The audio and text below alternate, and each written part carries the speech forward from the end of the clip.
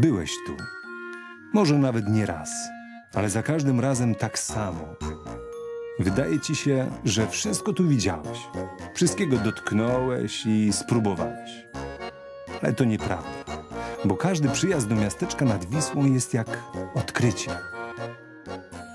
Podróż do Kazimierza to niezwyczajny wypad, ale prawdziwe pragnienie. A za nim zawsze kryje się jakieś intrygujące przeświadczenie, że miasteczko obdarzy nas czymś szczególnym, magicznym.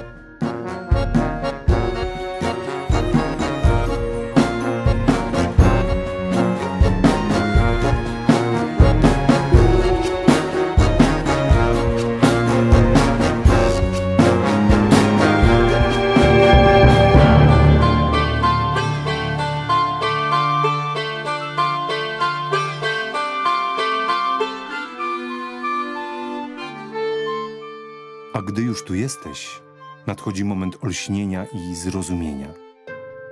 Bo pod powierzchnią zachwytu nad zewnętrznym pięknem jest coś znacznie ważniejszego. Wyciszenie, kontakt z naturą, lekcja pokory wobec historii tej dawnej i tej wczorajszej.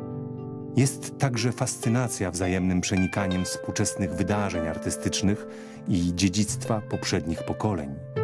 Kameralność skrojona na miarę ludzkich pragnień.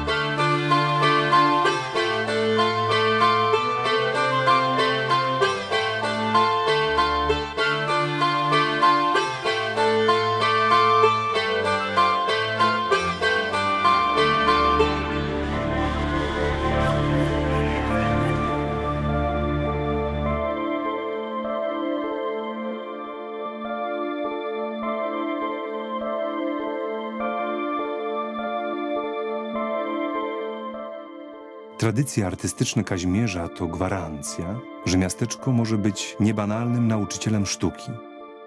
To tutaj można oderwać się od codzienności i wyzwolić kreatywność drzemiącą w każdym z nas od urodzenia.